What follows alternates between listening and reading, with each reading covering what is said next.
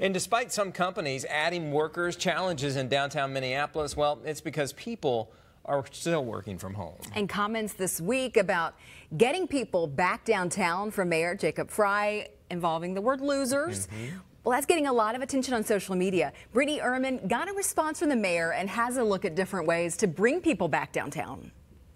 You're bringing your employees back? Comments from Mayor Jacob Frey at a downtown council luncheon are drawing backlash. I don't know if you saw this study the other day.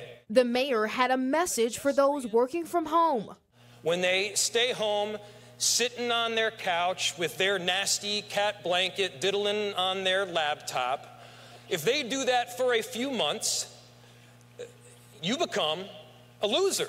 People took to social media calling out the mayor's comments. On Thursday afternoon, Frey called it a joke. People in the room took it as a joke.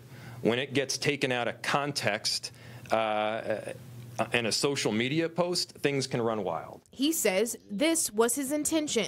Look, my goal as mayor, a responsibility that I have is to bring people back downtown.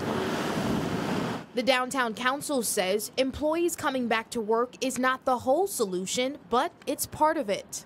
They're really important. They're a huge part of the fabric of downtown today. Council data shows 65% of workers are in the office in some capacity each week. I think that we're always going to have challenges downtown. I think the fact is is that it's about how we meet those challenges. The downtown council president says they plan to shift part of their focus to living spaces by turning commercial properties into residential buildings that appeal to the older population and families the geographic footprint of downtown is big enough, we can accommodate all these things. We can have more people living here.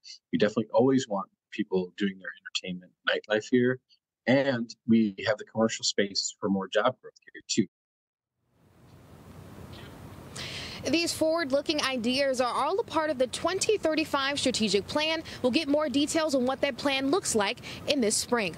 Live in Minneapolis, Brittany Ehrman, 5 Eyewitness News.